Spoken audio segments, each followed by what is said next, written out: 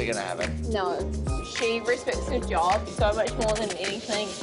I went, I went through a job where I was God to 50 people, mm. and then I went to yachting. Yeah.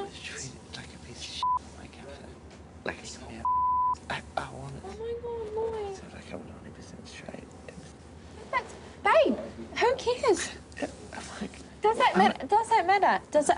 Lloyd, look at me. Look at me. Look at me. You're a beautiful person, okay? You honestly are. Your soul is like insane. the whole time they called me a You are a beautiful person. Let's go give Lloyd a hug. uh, on the first time. That, we love you. I could not give a. I can, don't care. And the first time I showed myself at yachting, I got one. Hey, you- know what? Those Lloyd. Lloyd. Um, There's nothing in here healthy. Lloyd, we support you. Well, it's not your reality anymore, okay? I mean, if ever wants to talk to me. It's the first time what? People want to listen and understand. Lloyd, come here.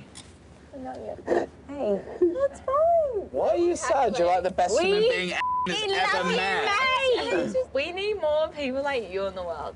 Whoa. Why am I going this way? We definitely need more Lloyds. What's going on? Uh, Lloyd, I went to college. I swung both ways. Yeah, still do. Exactly. Does it gonna change how we feel about you? If the world was full of Lloyds, imagine how good the world would be.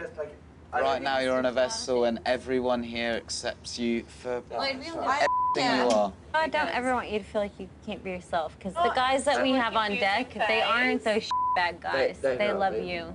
This industry is still very old school.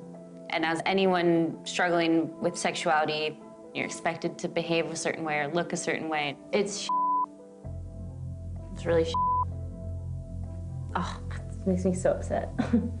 like, Mm. We love you. See you in the morning. Good night. Get you some water. Give me that. all right, bedtime. Yeah. Meh. Good night. Me. Never f- that, you're the best boss I've ever had. I talk about how I feel, my sexuality, all, you know, those sorts of things with my best friend.